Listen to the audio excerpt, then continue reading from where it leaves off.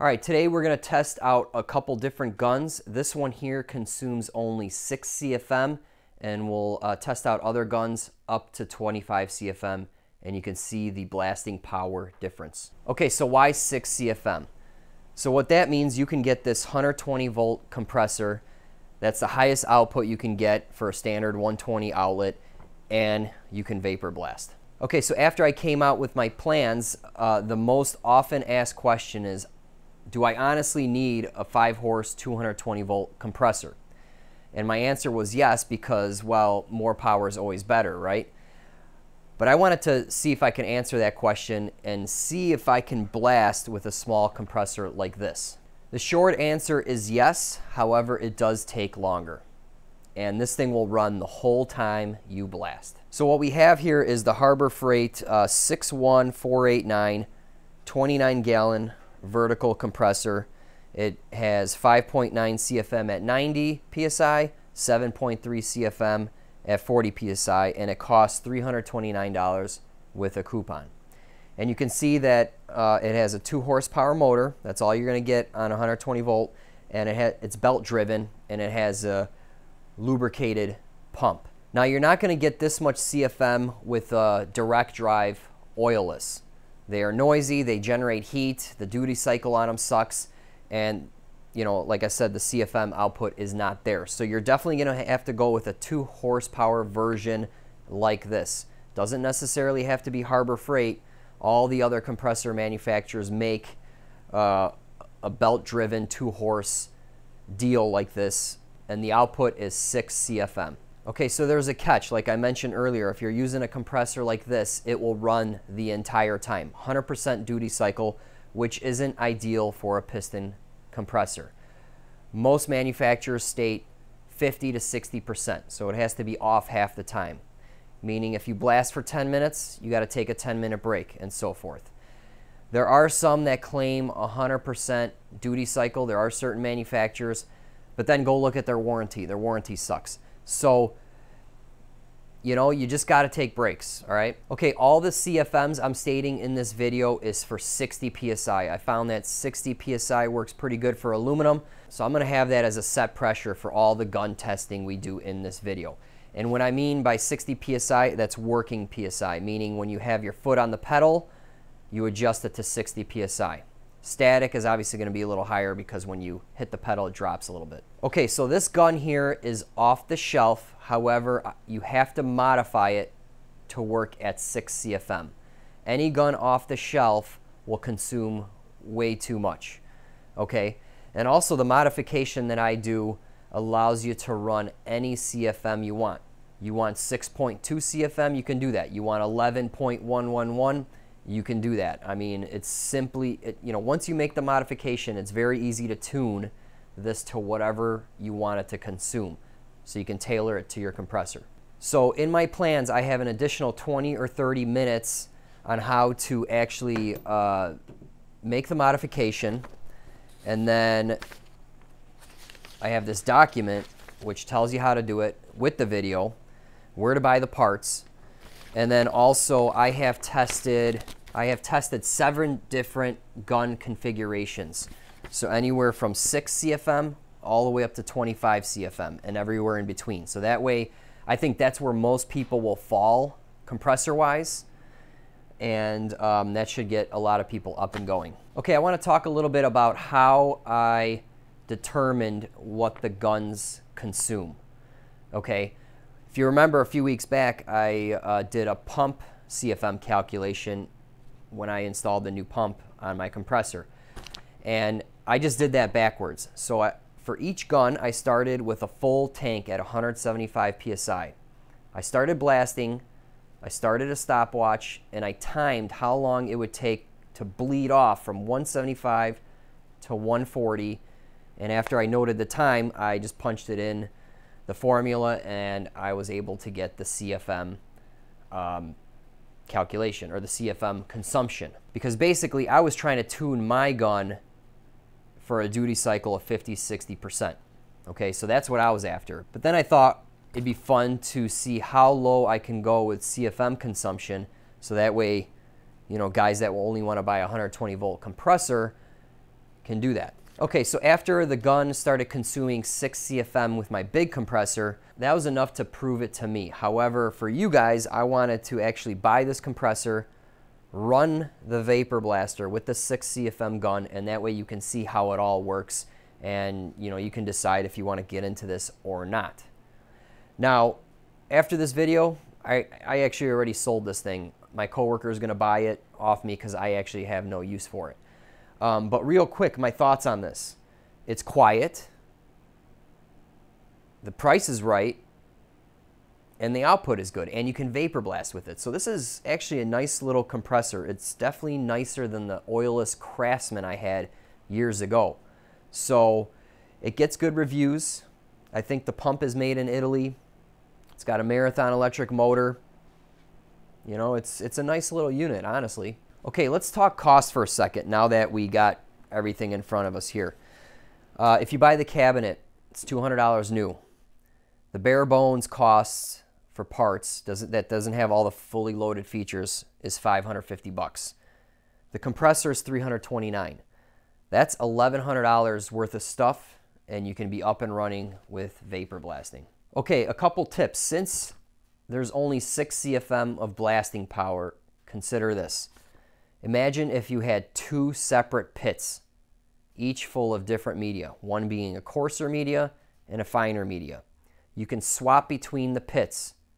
That only takes 10 minutes, and you can make quick work of parts that really need a coarser media. So to change the media, you rinse the cabinet down into the to this pit, rinse all the media back into here, pull it out, take the pump assembly out, rinse it off, drop it in your new bucket, roll it, roll it under, hook it up, and you're blasting again with a different media. Okay, a couple tips on this one here. Um, when you're taking a break, put a box fan on the pump to cool it. So that way maybe you can get back to blasting even quicker.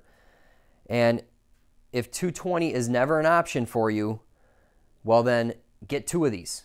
Link them up, and then all of a sudden you have 12 CFM, and you're blasting pretty quickly. Okay, something to keep in mind. If you blast at a higher PSI, it consumes more CFM. Lower PSI, lower CFM consumption. So it's related. All right, here we go. We got the uh, 6 CFM gun, harbor Freight compressor, uh, 60 PSI, fine mesh glass bead, and here we go. We're, uh, we're vapor blasting with a cheap 120 volt compressor and you can see it's cleaning the part up just nicely. Uh, so you can see I got a picture of the gauge there off the compressor and you can see that the pressure is dropping, the pump or the compressor is off right now and it's going to kick on at about 120 and it's going to maintain 120 psi.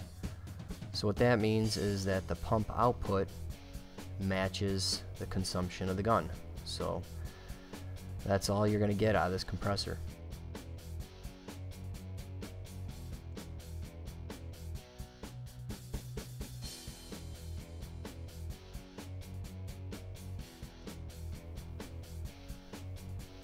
Alright, I just saw the compressor kick on there. You can see that the gauge is bouncing around a little bit because the compressor does vibrate a little bit. So uh, just make note that it's it's nice and steady and it's it's doing the job.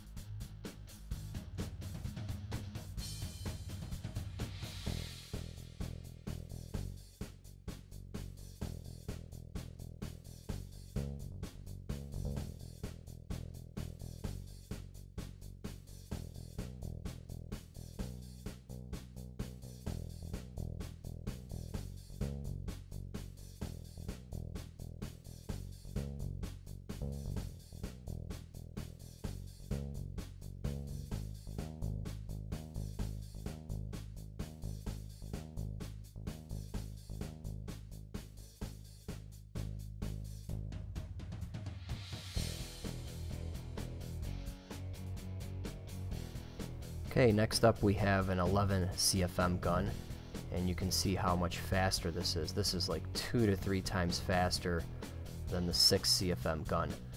Uh, everything's the same, same pressure, same media, same part pretty much, and you can see how quickly, how much quicker this is.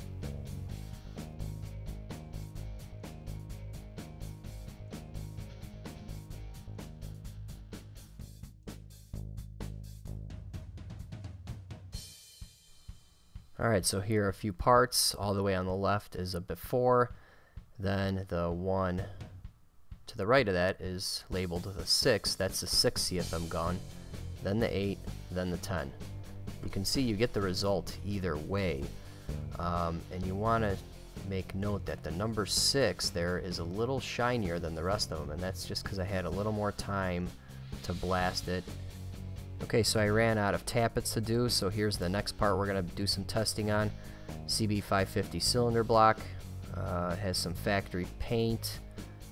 40 years of corrosion. You know, nasty. Nasty part. Okay, so this is a 14 and a half CFM gun. Look at that blast pattern.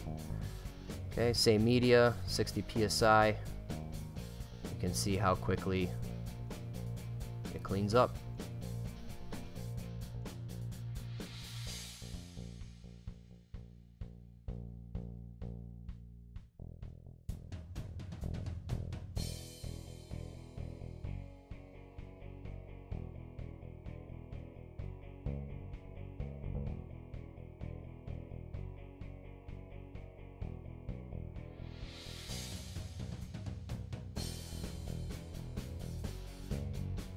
Okay, next up, we're just under 20 CFM with this gun. Real nice pattern. And uh, here we go. This one cleans uh, really fast as well.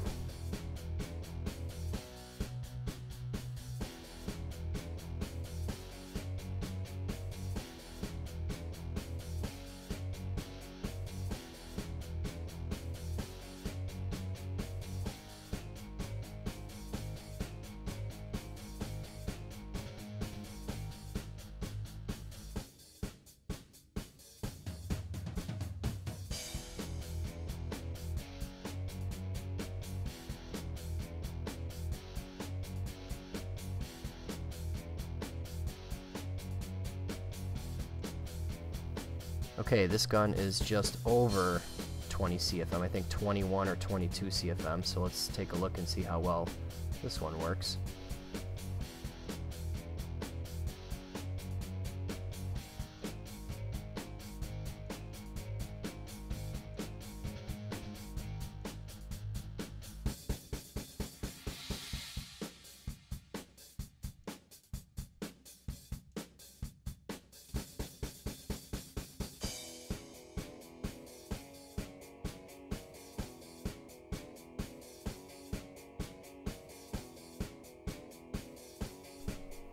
Okay, the last one. 26 CFM.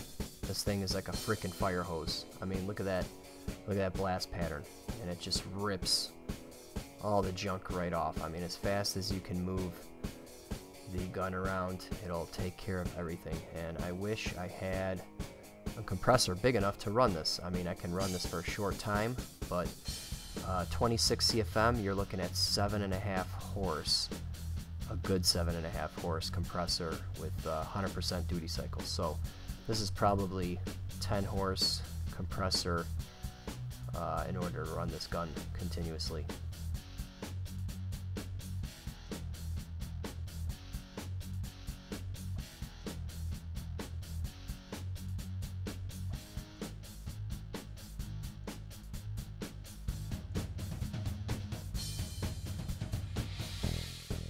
Okay, here's a snapshot of the four guns we tested 6 CFM, 14.5, 21, and 26. And you can see the blast pattern on all four of it. And basically, the more air you have, then the better the blasting will be. But hey, it's totally doable at 6 CFM, which is pretty impressive.